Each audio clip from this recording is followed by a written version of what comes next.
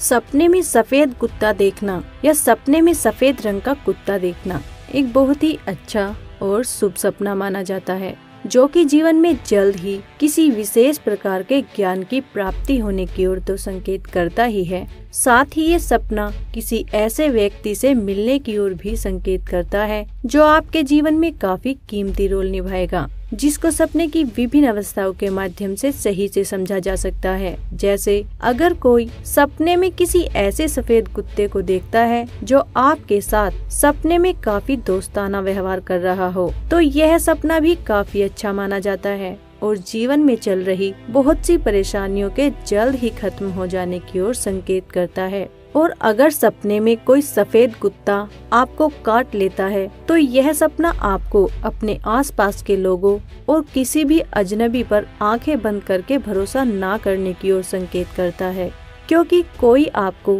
अपने फ़ायदे के लिए धोखा दे सकता है। और अगर कोई सपने में किसी बीमार या मरे हुए या घायल सफ़ेद कुत्ते को देखता है तो यह सपना किसी काम को पूरा होने में आने वाली अड़चनों की ओर संकेत करता है। जिनसे बचने के लिए आपको अभी किसी भी तरह के नए और रिस्की काम को करने से बचना चाहिए। और अगर कोई सपने में एक साथ बहुत से सफ़ेद कुत्तों को देखता है तो यह सपना भी काफ़ी अच्छा माना जाता है और एक ही साथ बहुत सी सफलताएँ और खुशियाँ जीवन में आने की ओर संकेत करता है। अगर कोई सपने में सफ़ेद पिल्ले को देखता है या बहुत से सफ़ेद पिल्लों को एक साथ देखता है तो यह सपना भी मिलने वाली सफलताओं की ओर ही संकेत करता है, जबकि ये सफलताएँ छोटी ही होगी। और अगर कोई सपने में किसी सफ़ेद कुत्ते को या सफ़ेद पिल्ले को पालते हुए देखता है या उसको कुछ खिलाते हुए देखता है तो यह सपना भी काफ़ी अच्छा माना जाता है